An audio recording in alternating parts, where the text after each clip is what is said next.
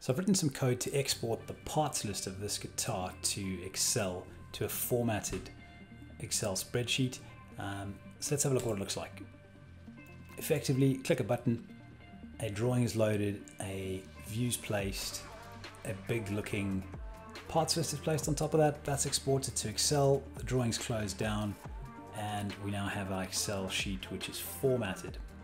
So note that my first item is being placed, or my first piece of information is going to go into cell A2, and I've got a logo in there, etc. So you can edit this to work however you would like. This code, if we go and look at it, is very simple. What it's doing is it's checking if we're in a, an assembly file. If it's not, it exits.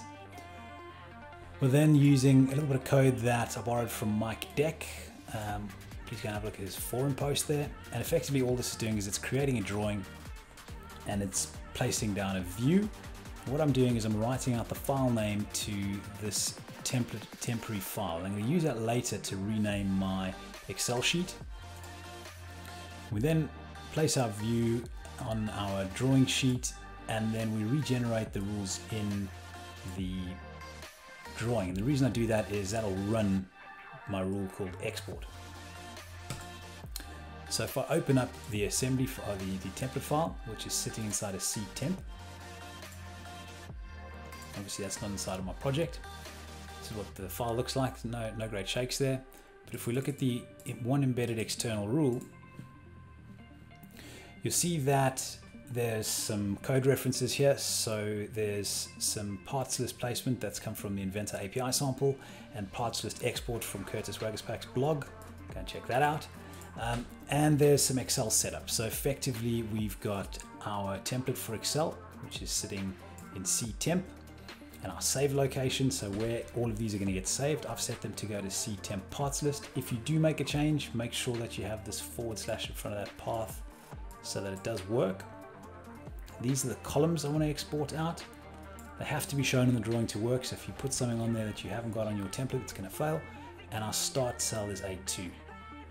All right, so then we're going through, we're setting a reference to a drawing, active sheet, first view, and we're then setting a reference to the sheet's border. And if the border exists, we're going to place our parts list in the top right hand corner. And basically we're going to go through, we're going to save this drawing as delete me to. So you'll see inside a C temp that there's a delete me too inside of that. That file is just going to continually get overwritten.